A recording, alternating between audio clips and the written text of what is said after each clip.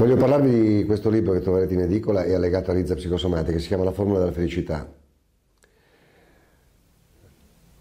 È un libro che ha questo sottotitolo, La gioia di vivere non dipende dagli altri. Molte volte le persone mi fermano no?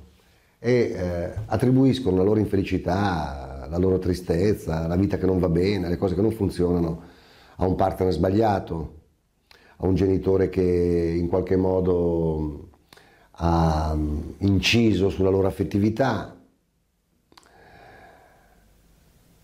Insomma, uno sguardo esterno che ci fa credere che la nostra felicità dipenda da cosa succede intorno a noi.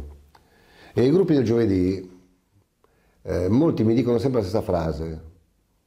Quando più, più persone ripetono la stessa frase vuol dire che è una frase che hanno assorbito dal terreno, non è loro.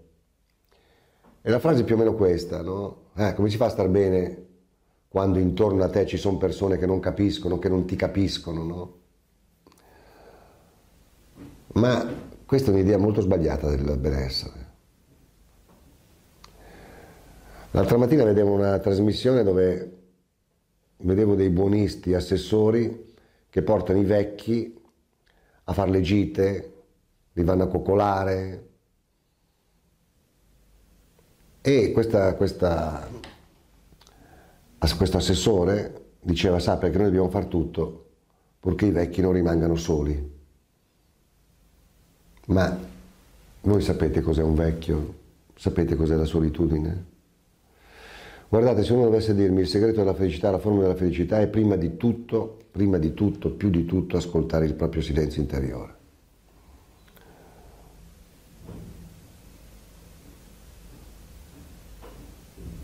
La seconda cosa, più importante di tutto, ancora più importante di tutto, è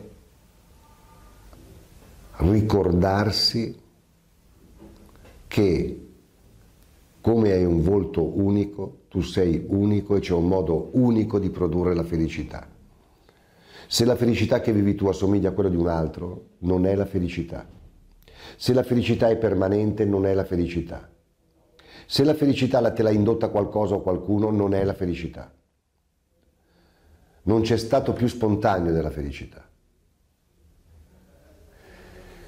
L'essenza del taoismo, di cui mi sono occupato parecchio, è che il Tao è senza nome. Prova a immaginarti di essere una persona senza nome, senza storia, senza futuro e senza passato. Totalmente immerso lì nelle cose come sono. Si racconta che il più grande saggio che ha avuto l'ebraismo, Taim de Sholkov, raggiungesse il punto più alto dell'illuminazione semplicemente lavando e rilavando i piatti, ma senza volgere lo sguardo altrove.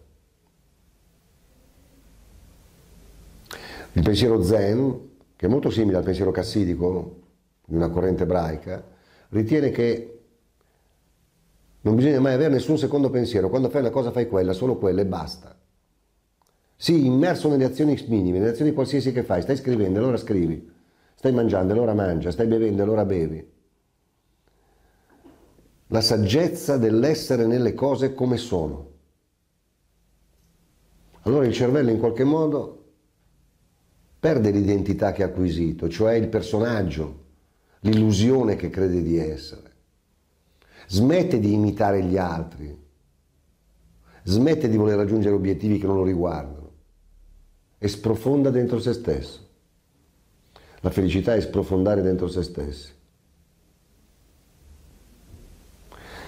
Felicità dell'estate quando il sole raggiunge il punto più alto, la, forza massima del sole, la, la felicità nella decadenza, la felicità nella tristezza dell'inverno, la felicità nell'esplosione del germoglio della primavera, quante felicità ci abitano. Certo che se nella tua mente c'è la convinzione che devi rimettere a posto i rapporti, che non ti hanno amato abbastanza, che la tua storia è stata sbagliata, una storia vale l'altra. Gli uomini dicono alle donne che sono speciali per portare a letto, non perché lo pensano. Tutti siamo speciali, tutti. Tutti siamo differenti, tutti abbiamo un volto unico. Inutile fissarsi sui luoghi comuni. E la cosa forse più importante ancora è quella di rispettare, perché la felicità sgorghi, anche i nostri lati cosiddetti sgradevoli. Dottore, io l'altra sera, mi diceva una mia paziente, dottore, io l'altra sera ho preso la tazza del caffè e l'ho tirata contro il muro, sporcando tutto, ero arrabbiata, poi mi sono detta, ma che razza di persona sei, come fai a essere così? Ecco, se vogliamo la felicità, se vogliamo che venga a trovarci, dobbiamo imparare a dire io sono quella che scaglia la tazzina di caffè e sono quella che accarezza il mio amico con grande dolcezza. Sono l'una e l'altra, non l'una o l'altra. Noi passiamo la vita a debellare no?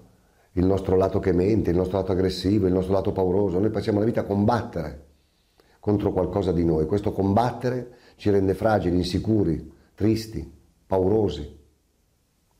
La felicità viene dall'accettazione della contraddizione, del dirsi sono quella che scaglia la, la, tazzina di caffè e sono quella che accarezza il suo compagno, sono quella dolce e sono quella aggressiva.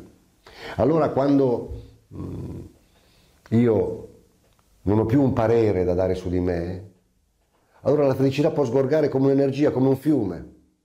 Spesso la vera diga che contiene l'energia felice siamo noi. Guarda, oggi sono felice e non so il motivo, questa è una buona felicità. La stessa felicità che si inserisce negli occhi dei bambini quando giocano. Perché la felicità possa sgorgare bisogna cambiare personaggio. Un solo personaggio vuol dire una unilateralità, quindi un'aridità.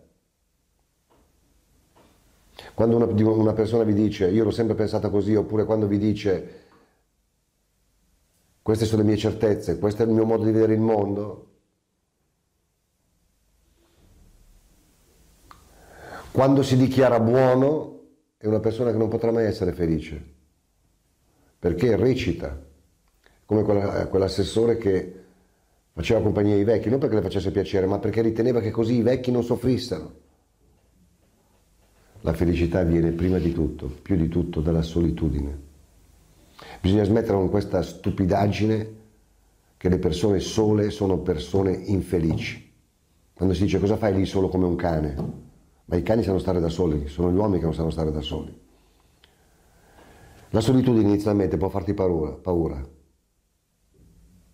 ma quando sei immerso nelle azioni e sei solo, quella è la formula principale della felicità.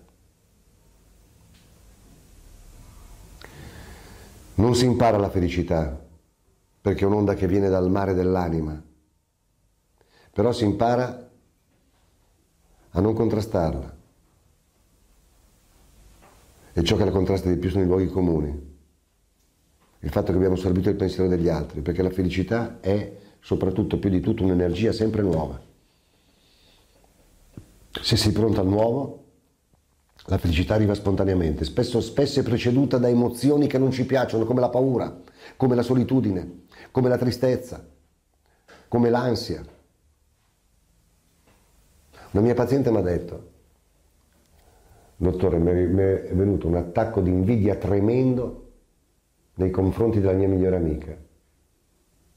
Tremendo perché lei andava in un posto che era il mio sogno, con un uomo che io avrei desiderato, l'ho invidiata in un modo pazzesco. E mi sono detta più volte, mi fai schifo, perché così invidiosa mi fai schifo. Poi sono venute in mente le mie parole. Ma che vita sarebbe senza l'invidia e senza un po' di schifo e senza lo schifo? Che vita sarebbe se fossi perfetto? E come si voleva questa persona? Senza emozioni, senza sentimenti, senza gelosia, senza invidia? Beh, questo modello di perfezione è l'antidoto più potente alla felicità. Un giorno mi ha detto, dottore, sai cosa mi è successo?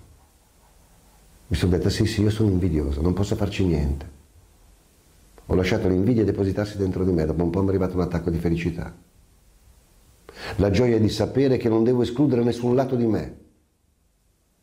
La gioia di sapere che sono questo e quello. Ecco, questi sono i cardini della felicità. Spero il libro vi piaccia, buona lettura, buon agosto a tutti.